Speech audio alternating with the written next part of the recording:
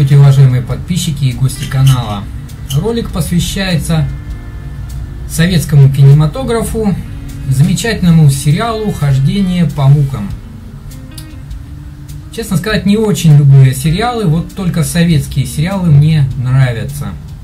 Это вот «Хождение по мукам», «Место встречи изменить нельзя» и «Вечный зов». Эти сериалы я смотрю бесконечно, пересматриваю постоянно. Итак, «Хождение по мукам». Советский киносериал по роману Алексея Толстого. Впервые я смотрел его в далеком детстве и далеко не все понял тогда. Недавно, уже в 2007 году, я купил DVD с этим шедевром и наслаждался им несколько лет. Пересматриваю его и сейчас систематически время от времени. Итак, обзор сериала. Огромное полотно, а именно так его лучше назвать, повествует о судьбе сестер Булавиных, Даши и Кати, которым выпала участь жить во времена революции и гражданской войны. То есть, говоря кратко, это такое огромное сказание, что ли, вот о судьбах людей на фоне грозных происходящих событий. Что происходит с этими людьми? Режиссер картины Василий Ордынский, автор сценария он же. В главных ролях Ирина Алферова, Юрий Соломин, Светлана Пенкина, Михаил Ножкин. А еще в ленте занята целая плеяда звезд. Ролан Быков, Георгий Бурков, Михаил Казаков, Лев Дуров и многие другие известные актеры. Премьера ленты состоялась в октябре 1977 года. Самое первое, о чем хочу сказать. Из просмотра фильма в зрелом возрасте я сделал довольно неприятный для себя вывод. Ирина Алферова далеко не лучшая актриса, увы. Я после этого посмотрел еще несколько фильмов с ней и обнаружил, что да, она только очень красивая женщина, но как актриса она, увы. Гораздо сильнее и глубже играет Светлана Пенкина. Лента начинается закадровым голосом Михаила Казакова, буквально интригующих зрителя и показывающих Санкт-Петербург совсем не таким, как рисуют его сейчас разные доброхоты. У Алексея Толстого город изображен иначе. Странно зыбкий, огромный, плоский, расстелился на болотистой равнине, нашпигованный дубовыми сваями и костями русских мужиков – и еще цитата. «Оглушающий тоску свою вином, золотом и безлюбой любовью Петербург, стоящий в болотах и пусторослях, грезил безграничной славой и властью». Буквально несколькими фразами Толстой и обрисовал Петербург того времени. И далее автор, за что я люблю его произведения, показывает героев и жизнь жестко и правдиво, а не слюняво и оптимистично, как принято сейчас, или еще более чернушно и гадко. Жизнь, она многогранна, и надо лишь выбрать золотую середину, пройти по ней так, дабы в старости не было стыдно. А сейчас многие живут одним днем, стараясь не думать. В результате мы пришли к тому, что вы и сами знаете – если человек не желает смотреть прямо в глаза себе и людям, он постоянно лжет, ничего хорошего из этого не выйдет. А если вы не занимаетесь политикой, она вскоре займется вами. Не помню, кто это сказал, кто-то из великих. Но это было ли, лирическое отступление. Итак, продолжим анализ картины. Первая сюжетная линия – сестры Булавины. Даша и Катя. Даша совсем юная девушка, приехавшая в Петербург учиться в институт. Великолепие столицы ошеломляет ее и ввергает неокрепшую душу в вихрь страстей. Любовь к поэту Бессонову едва не погубила ее. Очевидно, только участь старшей сестры и первые проблески разума заставляют ее отвергнуть пагубную страсть взрослому и опасному человеку. А вот Катя легко попадает в сети опытного ловеласа. Но надо еще отметить, что она сама хотела изменить нечто в своей жизни. Найти что-то новое и интересное.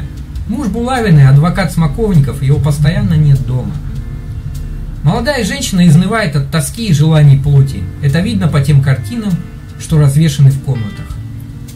Все как и в наши дни. Безделье, куча денег сводят с ума и ввергают низменные страсти. Все писатели-реалисты подводят нас к простой мысли.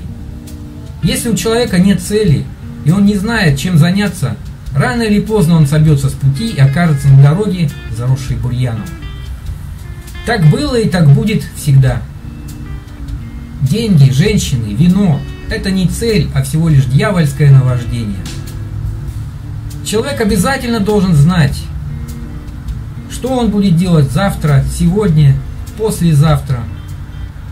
Чем он хочет заниматься. Только тогда он будет в гармонии с миром и самим собой. Но я отвлекся от темы. Дашу Булавину спасает робость и внезапно вспыхнувшее чувство к инженеру Телегину.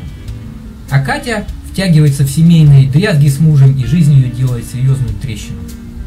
Оказаться без средств она не может, и только чудо не дает ей скатиться по наклонной плоскости, стать кокоткой. Вторая сюжетная линия – инженер Телегин. Обычный молодой человек, получивший неплохое образование и прочитавший пару полезных книг. Он также находится в поисках цели жизни, но пока не видит ее. Вначале ему кажется, будто цель – найти близкую женщину, но женить бы ему не везет, и тогда он ударяется в поиск чего-то нового. В те дни многие ищут это новое. В книгах Чернышевского рисуют некую новую Россию, где каким-то чудесным образом мужик побратается с барином, помещиком, а рабочий с капиталистом. Однако уже некоторые наиболее сведущие мужи предупреждают – что это новое будет совсем не таким сладким и розовым, а скорее всего грозным и жестоким. На беду Россия вступает в битву со странами Антанты и втягивается инфантильным царем с подвергнутым на это своим племянником Вильгельмом в войну за чуждые ей интересы. Однако известно, что в первые годы Россия была наполнена патриотизмом и лелеяла надеждой что-то получить из вторжения в Европу. Но через пару лет выясняется, что победить в этой кампании нельзя, военные действия затягиваются на годы, и миллионы трупов, смердеющие в окопах, вопиют о бесцельности и никчемности заданной цели. Все больше людей задумываются, зачем мы ввязались в эту кампанию, кто виноват. И, естественно, вскоре вся вина ложится на императора. Телегин оказывается на фронте и попадает в плен – только чудом ему удается бежать, и жизнь его висела буквально на волоске. Однако это только первое испытание, выпавшее на его долю. И когда Даша, окончательно влюбившаяся в Ивана, спрашивает, «Как же вам удалось спастись?» Он отвечает по-детски наивно, «Да вот знаете, как-то бежал, повезло». Любовь спасает и его, и Дашу на какое-то время от того грозного, что надвигается на них со всех сторон. Они, словно дети, заняты только своим чувством. Расплата приходит со смертью ребенка Даши, и внезапно любовь ее к Телегину угасает. Цель жизни потеряна. Иван не в силах возродить ее и потому решает примкнуть к большевикам, вступить в новую кампанию, теперь уже за обретение смысла в жизни. Наконец ему понятно, что в ближайшее время надо определиться, и тогда будет легче в это страшное, грозное время. Третья сюжетная линия – Вадим Рощин. Подтянутый и красивый офицер, волею случая оказавшийся в доме Булавиных. У него сразу же вспыхивает чувство к Кате, но она отвергает ухаживание, он с тяжелым сердцем возвращается на фронт. Однако вскоре трагически погибает Смоковников, муж Кати, и та также утрачивает путеводную нить, Смысла в жизни боли она не видит и решает отравиться. На помощь ей приходит вновь Рощин, и снова любовь помогает героине на некоторое время обрести себя. Ну и опять, как в случае с Дашей, все внезапно рушится. Рощин, хотя и побывал на войне, мало что там понял. Ему кажется, будто вся Россия воевала там за отечество и царя, но на деле каждый преследовал там свои цели.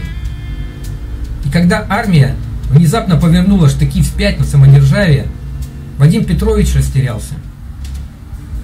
Перед ним стал тот же вопрос, как ранее возник, возникший перед Телегиным.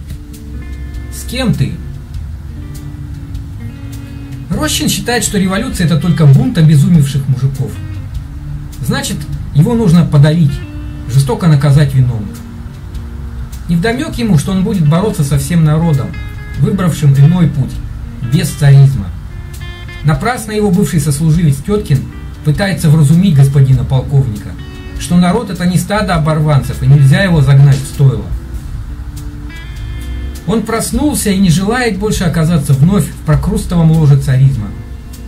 Никакими плетьми и расстрелами не вернуть ушедшего навсегда мира помещиков и капиталистов.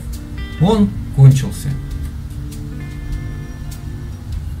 Ведь по сути это уже вторая революция за 10 лет, и значит воля народа четко определена. Нет пути назад. Но Рощин упрям и пробирается на дом Корнилову. Что же он видит там?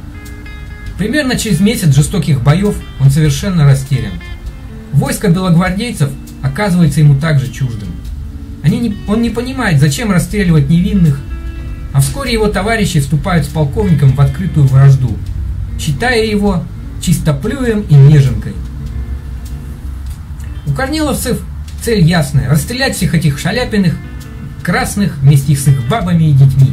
И вот тогда-то настанет прежняя жизнь. Этого Рощин тоже не может принять. Страшная догадка терзает его. Он зря предал самого близкого человека на свете, Катю. И ради чего? Ради химеры, того, чего нет. Нет боевого братства, нет друзей, а есть лишь убийцы и точка. Страшное прозрение приходит к нему, но лучше поздно, чем уж никогда.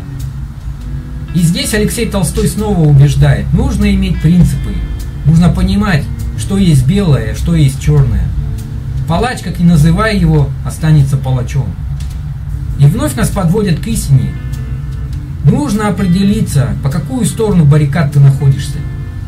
Отлично высказался по этому поводу герой Михаила Булгакова, полковник Турбин. С кем вы хотите воевать? С народом? Так он разобьет вам головы. На этом завершаю обзор отличного сериала, не стал вдаваться в подробности. Смотрите прекрасный фильм, а еще лучше прочтите замечательную книгу Алексея Толстого. Спасибо всем, пока.